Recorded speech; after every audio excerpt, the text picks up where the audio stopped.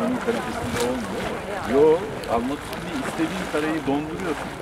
Onu fotoğraf olarak kaydediyorsun. Yani görüntü hareketli. Donduruyorsun ve fotoğraf olarak